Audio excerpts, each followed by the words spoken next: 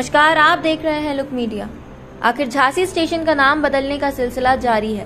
पहले इतने सालों के चले आए, झांसी स्टेशन के नाम को बदलकर वीरांगना लक्ष्मीबाई कर दिया गया। और अब इसके बाद इस नाम से फिर से झांसी का नाम जोड़ दिया गया। स्टेशन के नाम से झांसी हटाने का शहर के लोगों द्वारा भारी विरोध किया गया था। लेकिन अब एक बार फिर स्टेशन के नाम के साथ झांसी जोड़ दिया गया है। अब स्टेशन का नाम वीरांगना लक्ष्मीबाई झांसी हो गया है। इससे पहले कांग्रेस महासचिव राहुल रिछारिया ने कहा था कि रानी और झांसी को अलग नहीं किया जा सकता। रानी ने झांसी के लिए खुद को बलिदान कर दिया था। महानगर अध्यक्ष अरविंद विशिष्ट ने कहा कि भाजपा के नेता खुद स्टेशन के नाम में झांसी जोड़ने का मांग कर रहे हैं। ये राजनीतिक मुद्दा नहीं जन भावना का सवाल है। स्टेशन के नाम में झांसी जोड़ा जाए।